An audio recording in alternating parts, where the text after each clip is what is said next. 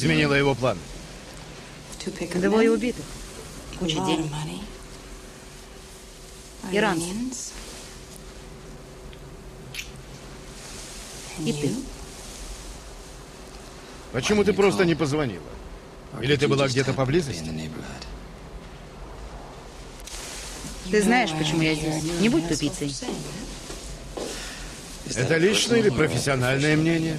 Разве мое мнение имеет значение? А, нет, действительно.